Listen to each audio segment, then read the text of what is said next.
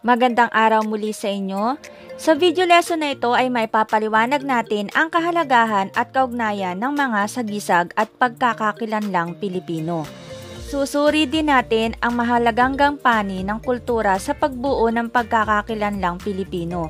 May papakita ang kaugnayan ng heograpiya, kultura at pangkabuhayang gawain sa pagbuo ng pagkakakilanlang Pilipino at matatalakay ang kahulugan ng pambansang awit at ng watawat bilang mga sagisag ng bansa. Ngunit paano nga ba nabuo ang pagkakakilanlan ng Pilipino? Ano nga ba ang kaugnayan nito sa heograpiya, kultura, kabuhayan at mga sagisag ng ating bansa?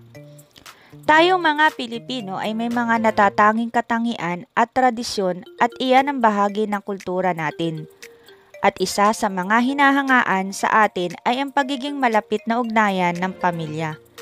Andyan din ang bayanihan o sama-samang pagtutulungan sa mga nangangailangan. Kung nais naman pakasalan ng lalaki ang isang babae, andyan ang tradisyon na pamanhikan bago ang kasalan ito naman ang formal na paghingi ng kamay ng babaeng pakakasalan sa kanyang mga magulang. Sama-sama din ang pamilya sa mga okasyon tulad halimbawa ng mga espesyal na okasyon at pagkahilig sa mga pista. Masasabi natin na mayaman at makulay ang kulturang Pilipino.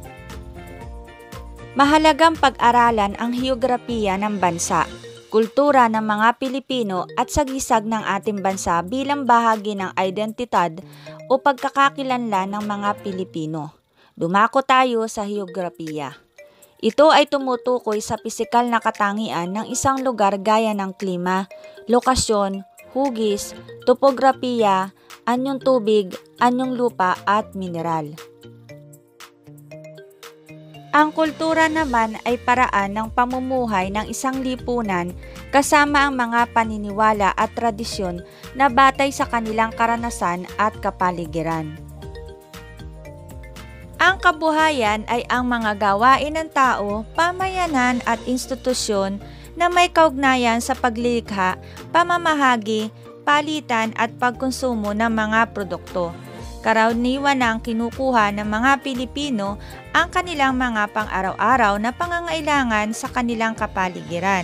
Halimbawa, pagtatanim at pangangaso ang hanap buhay kapag sa kagubatan nakatira. Karaniwan sa mga nakatira dito ay may mataas na pagpapahalaga sa kalikasan sapagkat dito sila kumukuha ng kanilang ikinabubuhay. Sa kagubatan, nakakukuha ng malaking kahoy na nagagamit para sa iba-ibang produkto. Sa kagubatan din, nakakukuha ng maraming bungang kahoy. Sa kasalukuyan, mahigpit nang ipinagbabawal ng ating pamahalaan ang pagpuputol ng mga puno. Alam mo ba ang dahilan kung bakit? Sapagkat kapag naputol na ang lahat ng puno, wala nang magsisilbing pananggalang sa mga bagyo at pagbaha. Kaya napakahalagang mahalin at alagaan ang ating likas na yaman. Pagsasaka naman ang pangunahing hanap buhay ng mga Pilipino na nakatira malapit sa kapatagan. Sa lokasyong ito, makikita ang kaibahan ng mga uri ng kabahayan. Sa mga naninirahan naman sa baybayin o malapit sa mga katubigan, malaking bahagi ang kanilang kultura ang pangingisda bilang ito ang pangunahing kabuhayan nila. Mahalagang salik ang lokasyon sa uri ng hanap buhay sa isang lugar o rehiyon. Partikular itong makikita sa ilang pangkat etniko na sama-samang namumuhay sa iisang komunidad na may parehong paraan ng pamumuhay. Anumang gawain sa saan mang lokasyon ay higit na mapagtitibay dahil sa kulturang nagbubuklod sa mga pangkat na naninirahan dito. Ang pagpapahalaga sa mga salik na ito ay larawan ng pagkakaisa at pagyakap sa pagkakakilanlang ito ng bawat Pilipino. Ang pambansang awit at watawat bilang sariling pagkakakilanlan. Sumasali ka ba sa pagtataas ng watawat at pag-awit ng lupang hinirang? Ano ang nararamdaman mo tuwing inaawit mo ang lupang hinirang? Isang antas sa lahat ng pampublikong paaralan ang pagsali ng bawat mag-aaral sa pagtataas ng watawat o flag ceremony tuwing araw ng lunes. Lupang Hinirang ang pamagat ng pambansang awit ng Pilipinas. Isinasalaysay ng awit ang pakikipaglaban ng mga Pilipino para sa kalayaan. Ipinahayag din nito ang pagmamahal sa bayan at ang kahandaang ipagtanggol ito sa anumang pagkakataon ng pambansang awit ng Pilipinas ay ginawa ng pianistang si Julian Felipe sa kahilingan ni General Emilio Aguinaldo. Pinamagatang Marcha Pilipina Magdalo ang orihinal na komposisyon.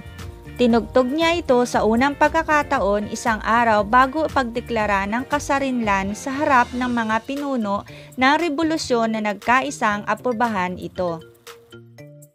Noong Hunyo 12, 1898, tinugtog ang komposisyon ni Felipe habang iniladadlad sa unang pagkakataon ang bandila ng Pilipinas sa balkonahe ng mansyon ni Aguinaldo sa Cavite. Isa pa sa mahahalagang simbolo ng bansa ay ang watawat ng Pilipinas. Tatlo ang pangunahing kulay nito, bughaw, pula at puti. Bughaw ay para sa kapayapaan na mahalaga sa pag-unlad ng bansa. Ang pula naman ay sa kagitingan na nagpapaalala sa matatag na kalooban ng mga mamamayan. At ang puti naman ay para sa kalinisan ng puri at dangal ng mga Pilipino. Ang tatlong bituin ay kumakatawan sa tatlong pangkat ng pulo ng Pilipinas, ang Luzon, ang Visayas at ang Mindanao. Ang unang bituin ay para sa Luzon na ang pangalan ay mula sa salitang lusong na ginagamit sa pantanggal ng ipa at darak sa palay. Ito ay sumasagisag sa kasipagan ng mga Pilipino. Ang ikalawang bituin ay para sa Mindanao na ang pangalan ay mula sa Danau, Ulawa. Ito ay sumasagisag sa tungkulin ng mga Pilipino na pangalagaan at ingatan ang kalikasan gaya ng mga yamang tubig ng Pilipinas. Ang ikatlong bituin ay para sa pulo ng Visayas na ang pangalan ay mula sa salitang masaya.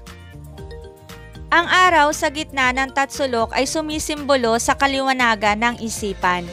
Ang walong sinag naman ay kumakatawan sa walong lalawigan na unang naghimagsik upang ipagtanggol ang kalayaan ng bayan. Maynila, Bulacan, Pampanga, Nueva Ecija, Bataan, Laguna, Batangas at Cavite. Ang watawat ng Pilipinas ay dinisenyo ni Emilio Aguinaldo. Ito ay ang unang tinahi sa loob ng limang araw sa Hong Kong ni na Marcela Agoncillo, Lorenza Agoncillo at Delfina Herbosa Natividad.